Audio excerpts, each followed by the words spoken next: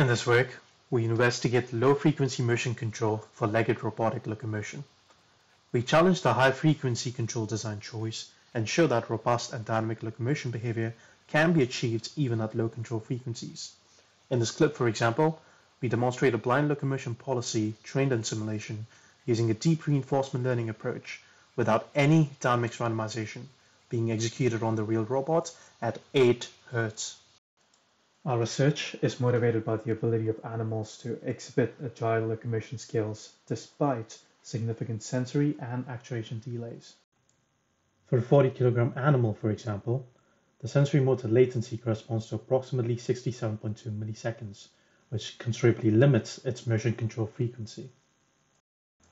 We therefore trained and evaluated motion control policies to generate desired joint position commands at frequencies ranging from 5 Hz to 200 Hz.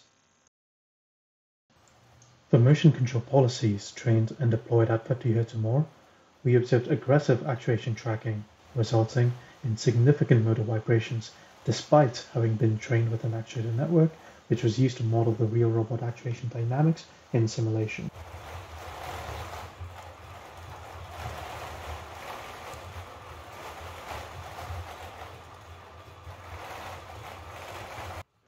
In contrast, we observe stable and smooth locomotion behavior with motion control policies trained and deployed at 25 Hz or less.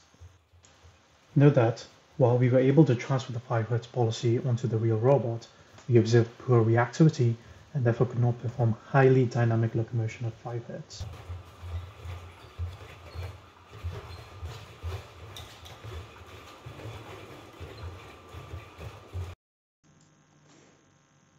We posit that low-frequency motion control is less sensitive to actuation dynamics, allowing policies trained at low frequencies to operate as planners as opposed to controllers.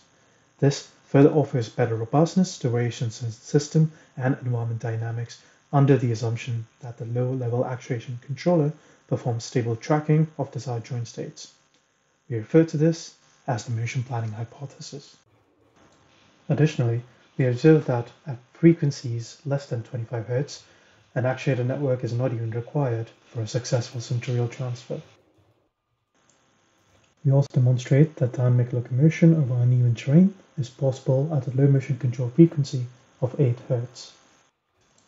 The 8 Hz policy is also able to achieve a heading velocity of more than 1.5 meters per second.